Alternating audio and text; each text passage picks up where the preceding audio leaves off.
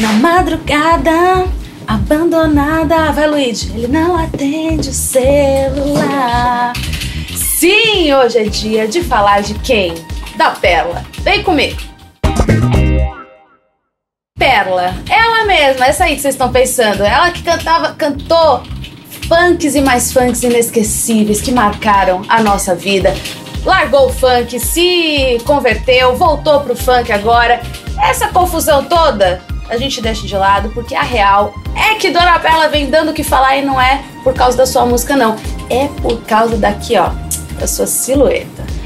O que está acontecendo, Vitorinha? Vou explicar para vocês. Dedicada, a cantora emagreceu e emagreceu muito nos últimos tempos. E como a gente sabe que vocês adoram um antes e depois, a gente vai falar disso aqui, ó, na nossa TV Fuxi. A real é que a mudança toda vem acontecendo desde que a fanqueira participou da Fazenda 10. Vocês lembram, inclusive, que ela participou do reality da Record TV? Pois é. De lá pra cá, a cantora tomou um outro rumo na sua vida, terminou casamento, voltou a cantar funk, inclusive tá com um single novo chamado Eita Essa Novinha e os resultados aí dessa mudança toda são mais do que evidentes. Com a autoestima lá em cima, a Bela postou recentemente uma foto de lingerie e deixou os seguidores e os fãs o quê? Babando.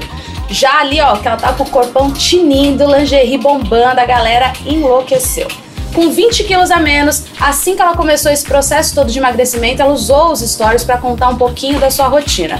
Segundo Perla, ela teve a ajuda de uma consultora fitness, ou seja, meu povo, não foi nada de dieta louca, essas coisas assim, dieta da lua, teve acompanhamento profissional.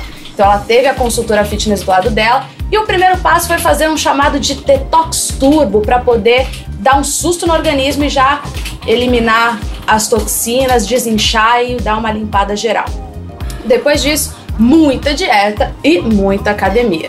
Com um milhão de seguidores no Instagram, a fanqueira faz questão de mostrar a sua dedicação ali, ó, que ela segue tudo à risca. Ela se dedica aos treinos, à alimentação, ela posta fotinho no espelho na academia, fica ali e, claro, a gente tá vendo que a, a cinturinha tá ficando fininha, o bumbum mais empinadinho.